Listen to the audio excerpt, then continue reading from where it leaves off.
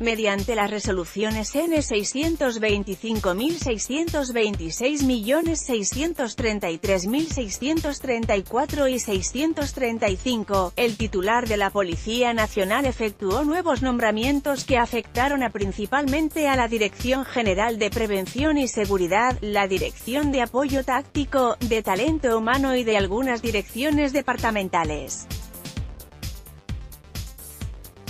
El principal de estos nombramientos se produjo en la Dirección General de Prevención y Seguridad, cuyo nuevo titular pasará a ser el comisario general Bernardino Monies Espinoza, en sustitución del comisario general Luis Pablo Cantero Vázquez.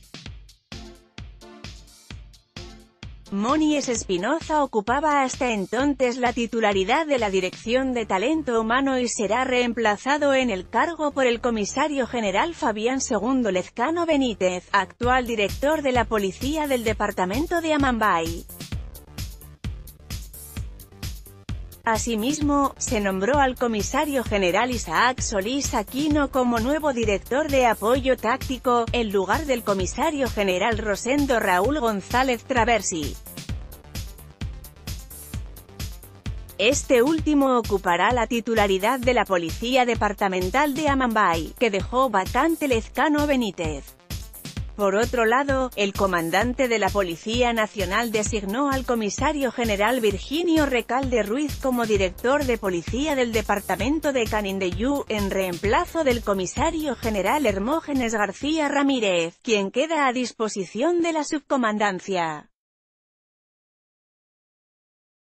Así también, nombró al comisario principal Héctor Eduardo Fernández Acosta como jefe de seguridad ciudadana del mismo departamento, en lugar del comisario principal Elías Gómez, quien quedará a disposición de la Dirección General de Prevención y Seguridad.